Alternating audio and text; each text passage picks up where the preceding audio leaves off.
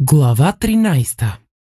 Лудоокия Муди На следващата сутрин бурята вече бе отминала, но таванът на голямата зала беше все още мрачен. Тежки оловно сиви облаци се кълбяха над главите на Хари, Рон и Хърмаяни, докато преглеждаха новите си учебни програми на закуска. Недалеч от тях, Фред Джордж и Ли Джордан обсъждаха магически методи за състаряване и за блуда, с които да се промъкнат за участие в тримагическия турнир.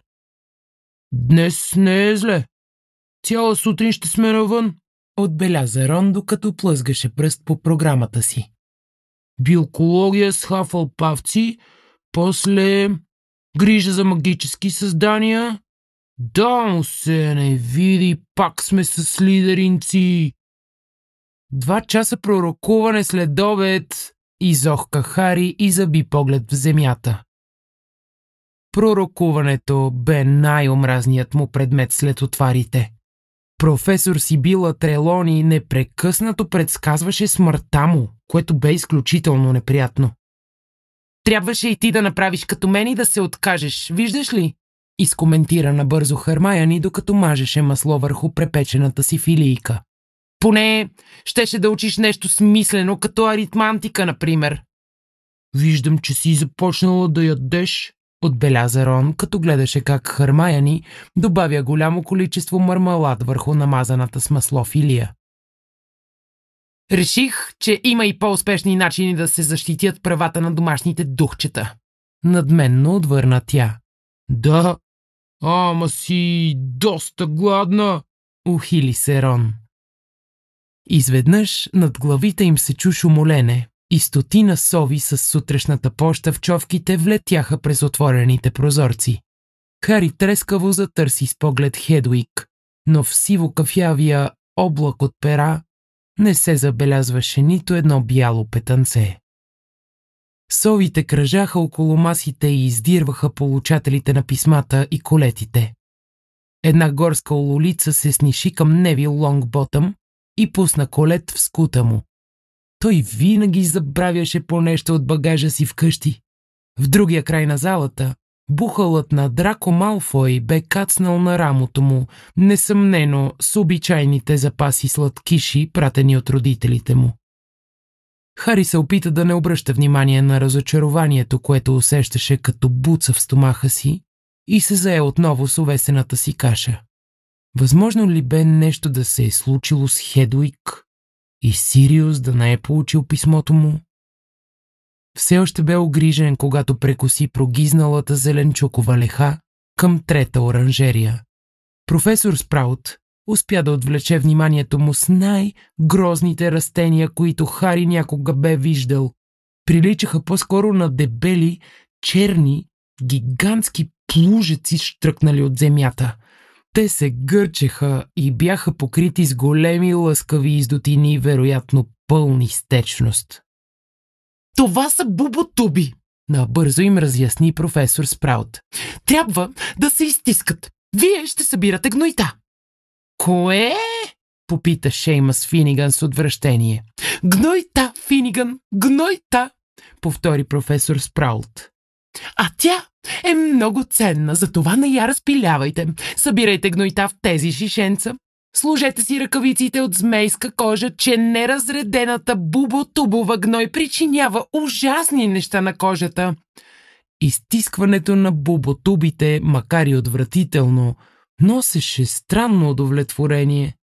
След като се пукнеше, Издотината изригваше голямо количество гъста, жълтеникаво-зелена течност с мирис на бензин. Всички я събираха в шишенцата, които професор Спраут им бе дала и до края на часа имаха вече няколко литра.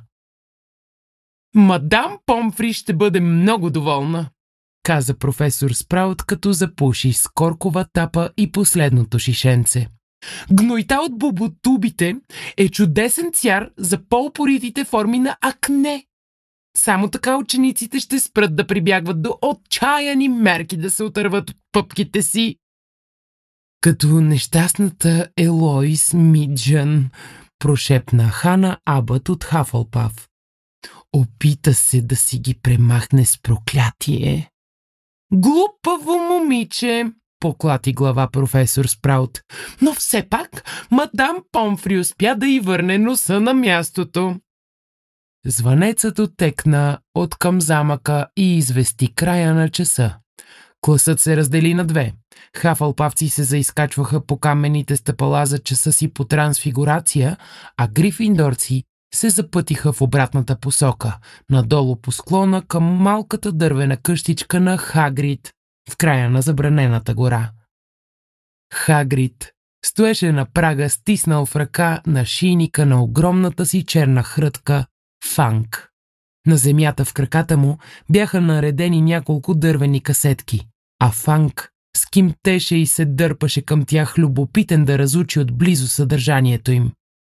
Докато се приближаваха натам, до ушите им стигна странен тътен, насечен от леки експлозии.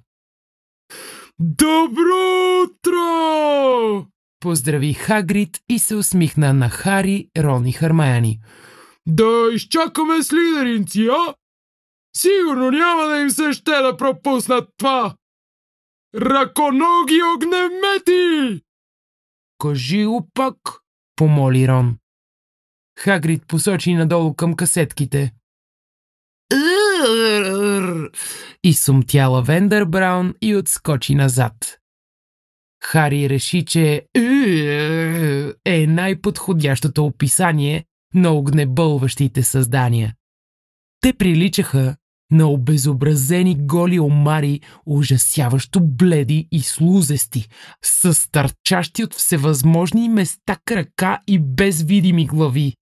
Във всяка касетка имаше най-малко 100 огнемета, дълги по около 15 на сантиметра, които пълзяха един върху друг и се блъскаха сляпо в стените.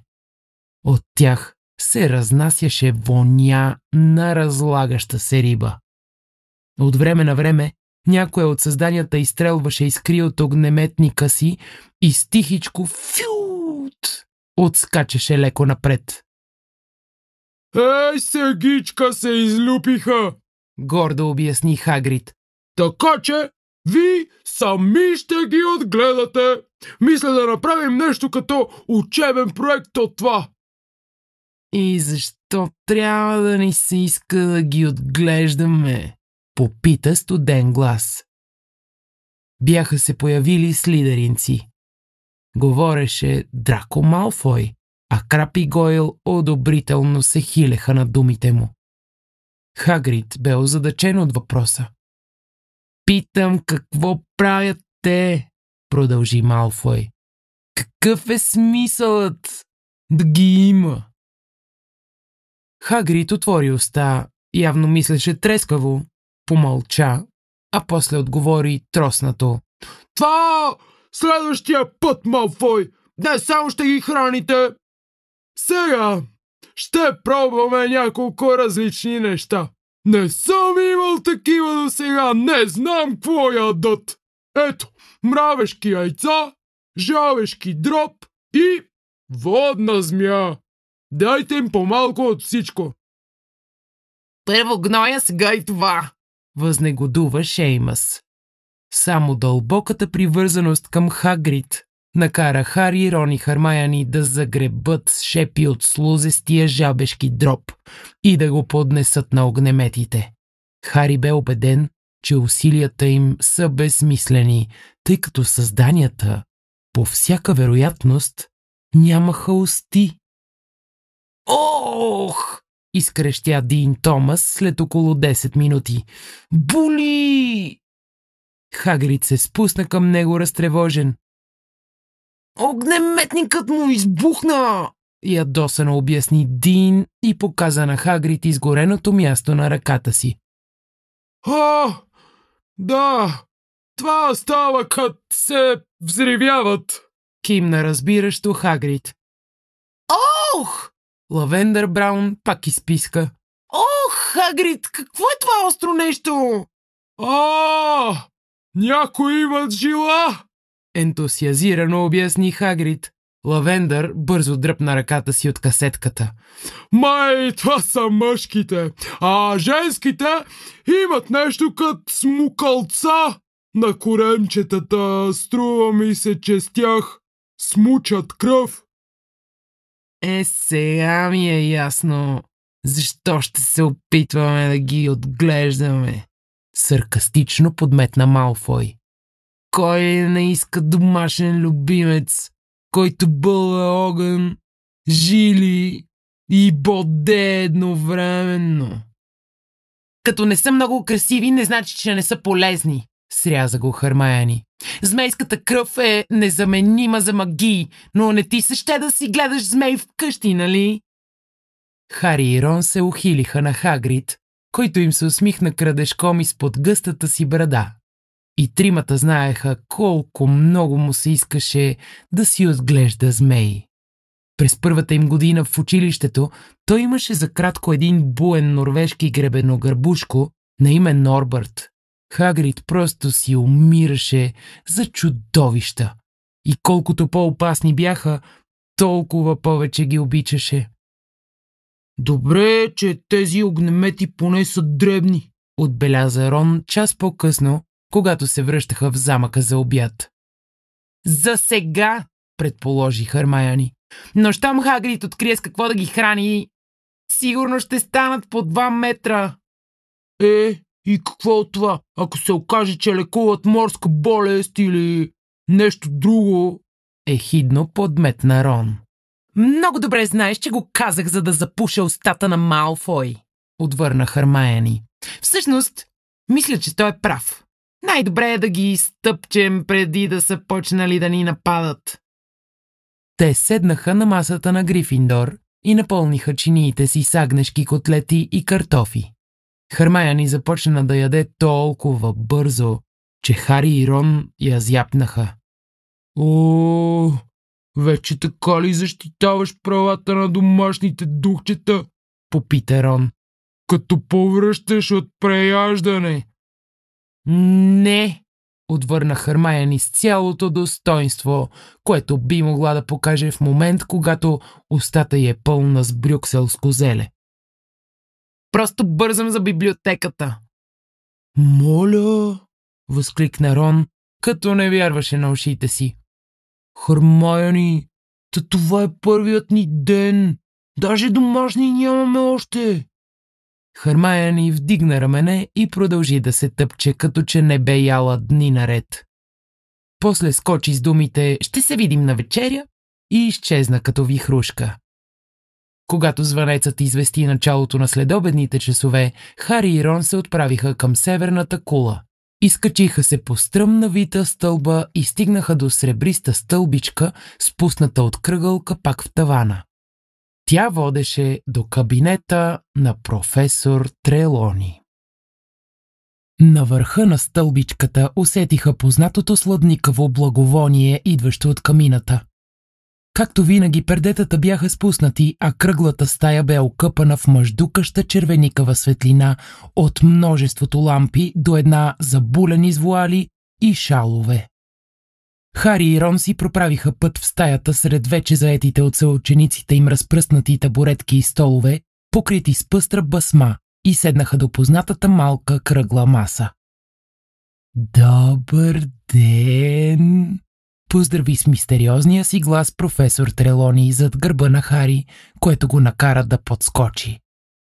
Много слаба, с огромни очила, които няколко пъти увеличаваха очите и до неестествено големи размери, Професор Трелони гледаше от високо Хари с трагичното изражение, което се изписваше по лицето и всеки път, щом го зърнеше. Обичайните и гроздове огърлици, веришки и гривни отразяваха пламъците и присвяткваха. Огрижен си, миличък, скръбно рече тя на Хари. Вътрешното ми око прониква зад твоето смело лице в тревожната ти душа. И със съжаление ще ти кажа, че тревогите ти са основателни. За жалост виждам, че те чакат много трудни дни. Страхувам се, че онова, от което изпитваш ужас, ще се случи. И то по-скоро, отколкото предполагаш. Говорът ти премина в шепот. Рон извъртя очи към Хари, който на свой ред го погледна с каменно изражение. Професор Трелони ги подмина плавно и седна в голямо кресло с високи облегалки за ръцете пред камината с лице към класа. Лавендър Браун и първати Патил, които дълбоко се възхищаваха на професор Трелони, седяха на табуретки много близо до нея. Мили мой, време е да погледнем към звездите, започна тя. Движенията на планетите и загадъчните знамения вещаят само на онези, които разбират стъпките на небесния танц. Човешката съдба може да се разчете чрез лъчите на планетите, които се пресичат. Но мислите на Хари вече бяха отлетели далеч. Благовонният огън го приспиваше и забавяше възприятията му, а и никога не се бе захласвал по несвързаните слова на професор Трелони за пророкуването. Ала мислите му не се откъсваха и за миг от това, което току-що му бе казала. Страхувам се, че онова, от което изпитваш ужас, ще се случи. Хърмая ни е права, помисли си раздразнен Хари.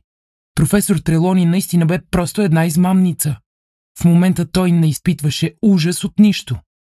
Е, като се изключи страхът, че Сириус може да е заловен, но какво ли знаеше професор Трелони? Той отдавна бе стигнал до заключението, че гадаенето й не е нищо друго, освен успешно налучкване и преструвка. Освен, разбира се, онзи случай в края на третата година, когато тя предсказа, че лорд Волдемор ще възвърне силата си.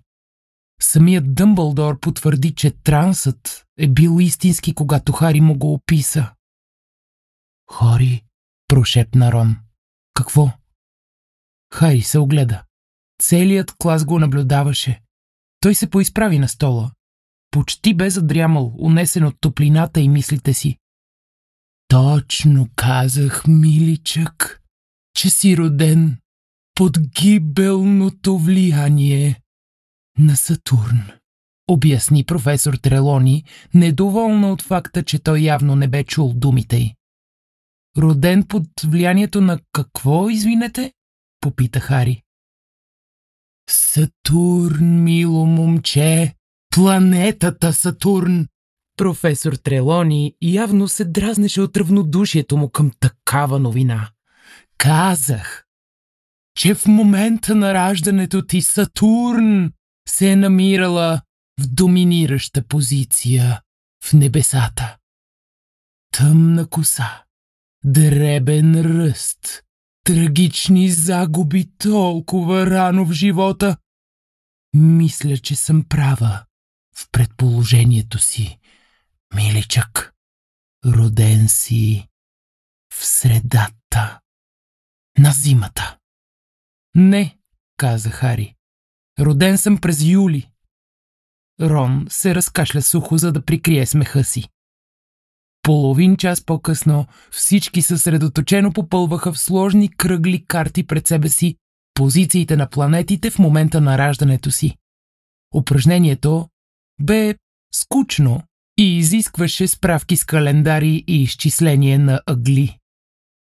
Имам две планети Нептун тук. Обади се по едно време Хари намръщен над пергамента. Не е възможно, нали? Ах! Изимитира Рон загадъчния шепот на професор Трелони. Когато в небето се появят две планети Нептун Хари, това е недвусмислен знак, че се ражда дребосък с очила. Шеймас и Дин, които работеха наблизо, се изсмяха на глас, но не успяха да заглушат възбудените крясъци на Лавендър Браун. О, професоре, погледнете! Мисля, че получих неизвестна планета. Ох, коя е тя, професоре? Това е Уран, мила, отвърна професор Трелони, като погледна картата. Може ли и аз да видя твоя Уран, Ловендър? помоли Рон. За всеобщо нещастие, професор Трелони го чу и може би точно за това в края на часа им даде огромно домашно. Възоснова на личната си карта направете подробен анализ на начина, по който ще ви се отразят движенията на планетите през идния месец. Отсече тя и заприлича много повече на професор Макгонагол, отколкото на безплътна фея, каквато се опитваше да изглежда. В понеделник да ми ги предадете. Готови. Не приемам никакви извинения.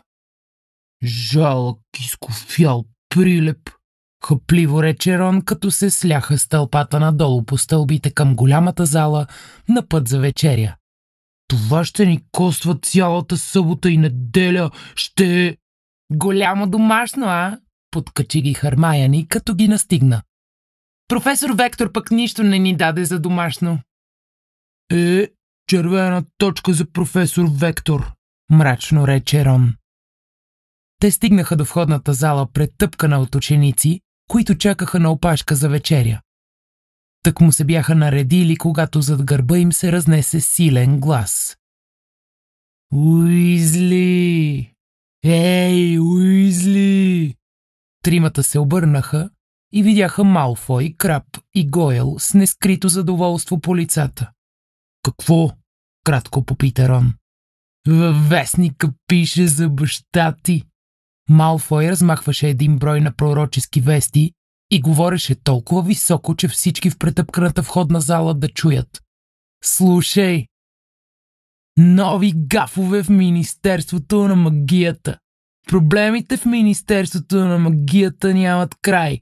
Пишеше специалният кореспондент Рита Скитър. Обвинено неотдавна за слабия контрол осъществен на тълпите след финала на световното първенство по Куидич, а и все още безсилно да обясни изчезването на една от своите вещици. Вчера Министерството отново бе злепоставено от абсурдното повеление на Арнолд Уизли от служба злоупотреба с мъгълски вещи. Малфой вдигна поглед. Гледай, дори името му не е написано вярно. Уизли, все едно е напълно неизвестен, нали? Злорадстваше той. Вече всички във входната зала слушаха. Малфой с замах изпъна вестника и продължи да чете. Арнолд Уизли, обвинен преди две години, че притежава летяща кола, вчера бе замесен в разправия с мъгълски пазители на закона, полицаи, заради няколко крайно агресивни кофи за буклук. Господин Уизли явно се е притекал на помощ на лудоокия Муди, възрастен бивш аврор, който се пенсионира от Министерството когато вече не можеше да различава ръкостискане от опит за убийство. Не е за очудване, че след пристигането си в барикадираната къща на Муди, господин Уизли установил, че за пореден път Аврорът е вдигнал фалшива тревога. Наложило се господин Уизли да пренастрои памета на няколко души преди да успее да се изплъзне от полицаите. Той отказа да отговори на въпросите на пророчески вести относно причината да замеси Министерството в такъв недостоен и вероятно свързан с неприятни последици инцидент. Има и снимка, Уизли, Малфой изгъна вестника и го вдигна нагоре. Снимка на родителите ти пред къщата им. Ако това може да се нарече къща. Няма да е зле майка ти да свали някой друг килограм, а? Рон трепереше от ярост. Всички го гледаха. Махай се, Малфой, извика Хари. Хайде, Рон. А, да, ти си им гостувал това лято, нали? Потър, Захили се подигравателно Малфой. Кажи ми, майка му толкова ли е тлъста? Или само така изглежда на снимката? Ами твоята майка, Малфой, намеси се Хари, докато двамата с Хърмаяни държаха Рон за гърба на мантията му и го възпираха да не се нахвърли върху Малфой. С онова изражение, сякаш има повръщано под носа й, винаги ли е така или сам когато ти си близо до нея? Лицето на Малфой леко почервеня. Не си позволявай да обиждаш майка ми, Потър! Дръж си тогава голямата уста затворена! Сряза го Хари и се обърна. Тряс! Няколко души изкрещяха. Хари почувства как нещо нажежено до бяло пар на бузата му. Той плъзна ръка в джоба за пръчката си, но преди да я докосне чу второ силно тряс и рев, който оттекна във входната зала. Не така, момче! Хари се извърна.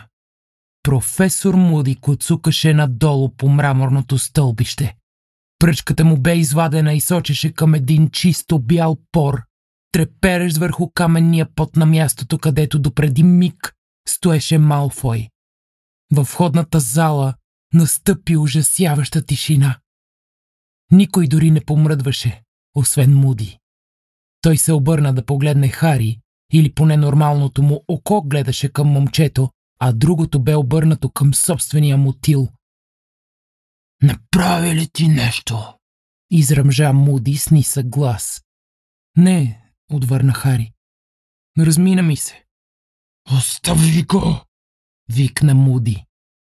Да оставя какво? Объркам попита Хари. Не ти! Той!